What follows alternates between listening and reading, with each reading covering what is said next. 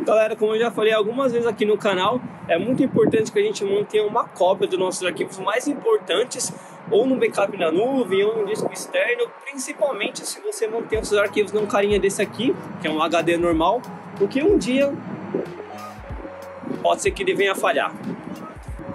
Na verdade, eu nem sei porque eu tô gravando aqui fora, porque tá um frio lascado. Mas se vocês não têm um backup dos seus arquivos e de repente seu HD parou de funcionar, você perdeu aí o acesso ao seu HD, não consegue mais acessar os seus documentos, não se desespera ainda porque hoje eu vou mostrar para vocês uma maneira de como recuperar arquivos de um disco corrompido usando o programinha Partition Wizard da Minitool. Só tirar isso aqui antes. Bem melhor. A Minitool me concedeu o Partition Wizard para análise e review e eu já fiz um vídeo falando das principais funções do Partition Wizard. Eu vou deixar o link aqui na descrição do vídeo e no card aqui em cima também. Mas nesse vídeo eu vou falar exclusivamente das funções de recuperação de dados, de arquivos, documentos, né, em discos corrompidos. O programa é super fácil e simples de usar e esse HD que eu mostrei para vocês lá fora era só de brincadeira, tá? Já não estava funcionando. Eu só quis ilustrar aqui o quão é importante a gente ter um backup dos nossos arquivos em outros lugares. Então bora aqui pro computador que eu quero mostrar para vocês como tudo funciona. Então vamos lá pessoal, a primeira coisa que a gente tem que fazer é ter certeza que nosso disco está conectado corretamente no computador. Para fazer isso a gente verifica os cabos primeiramente, né, ver se está tudo conectado certinho, tanto o cabo de força quanto o cabo de comunicação se você tiver um desktop. E isso vale para discos externos e internos também, beleza? Uma forma bem facinho de você verificar se o seu computador está de certa forma reconhecendo o seu disco é através do gerenciamento de discos, que é uma ferramentinha que tem no Windows mesmo. Então, para acessar essa ferramenta, a gente vem aqui no menu iniciar e eu só digito criar e formatar, já aparece aqui, ó, criar e formatar partições de disco rígido. A gente clica nessa opção e aqui a gente abre já o gerenciamento de disco, beleza? Deixar ele aqui menor um pouquinho para vocês poderem enxergar melhor. Então tá aqui, ó, gerenciamento de disco. Essa ferramenta mostra um mapa dos discos que estão atualmente conectados no seu computador. Como vocês podem ver aqui no disco zero, eu tenho o meu disco local C, que é onde fica instalado o meu sistema operacional, é aquele disco padrão, né, é o principal do nosso computador.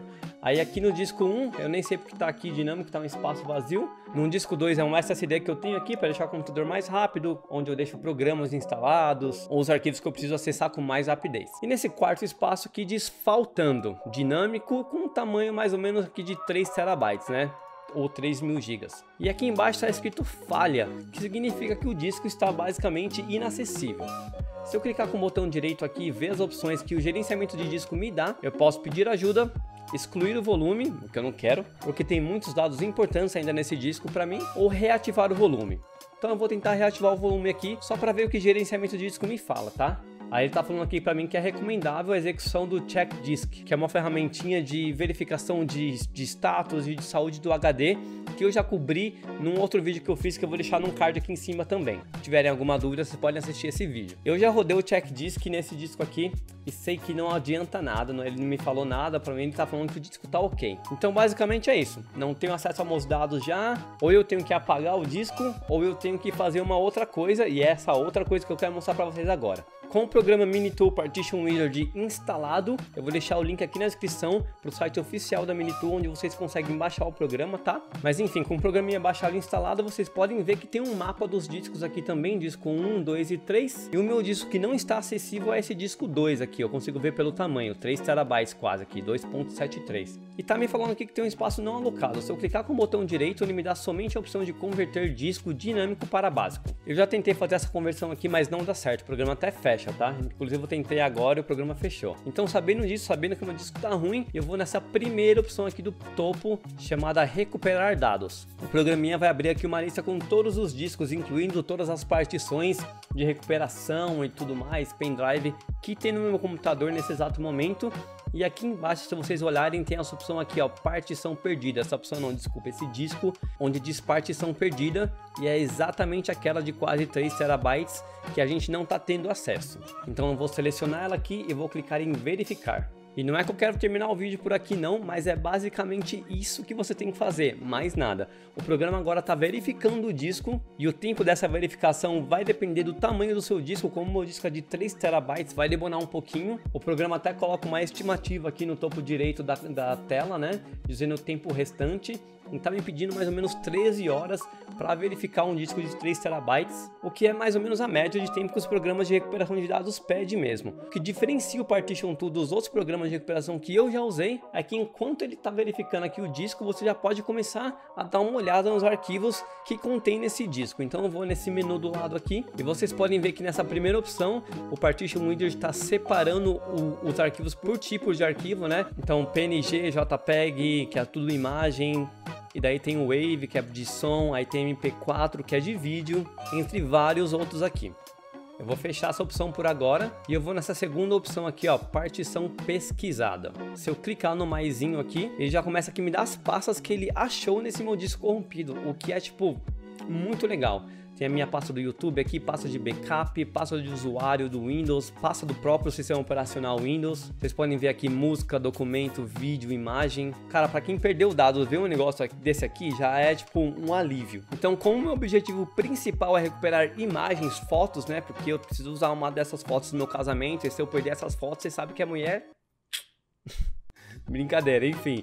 Eu vou aqui na minha pasta imagens. Eu já consigo ver que eu tenho acesso a quatro pastas aqui, subpastas. Eu vou clicar aqui em fotos para ver o que, que ele acha. Na hora eu já consigo ver um monte de foto aqui, ó.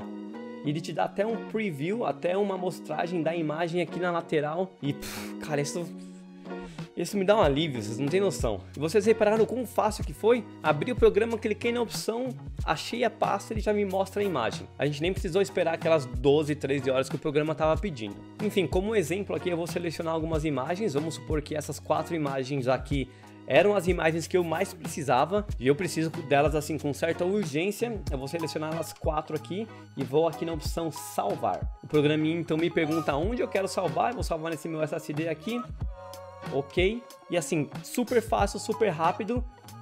Eu já ganho um aviso aqui dizendo que a recuperação foi completa. Então eu vou clicar aqui nesse link ver recuperados. Ele vai abrir uma pasta aqui do Explorer. E normalmente o programinha cria uma pasta com esse nome partição pesquisada número 1. Vocês podem ver que eu tenho duas pastas dessas porque eu já tinha testado o programa antes de mostrar para vocês. Mas eu vou entrar aqui na primeira que foi a que a gente criou agora. Vou entrar aqui, imagens, fotos.